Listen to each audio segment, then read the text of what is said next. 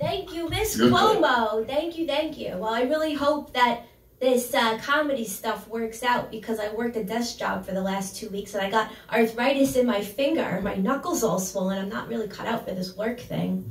On a lighter note, I often fantasize about faking my own death just so a few people will fuck off. So speaking of that, fuck off, everyone.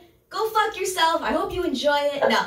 Much love, much kisses, eat your vegetables, take care of yourself, send love to yourself in the world. We all need it. And I do comedy to uplift, so I hope you feel uplifted. Have a wonderful night. And we'll see you later.